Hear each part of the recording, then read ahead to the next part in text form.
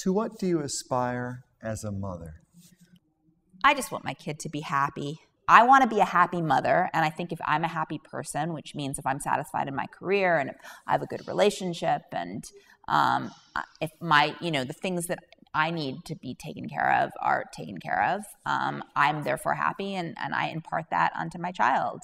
So, you know, I aspire to be a happy mother, which means uh, satisfied in my career and satisfied in my family life.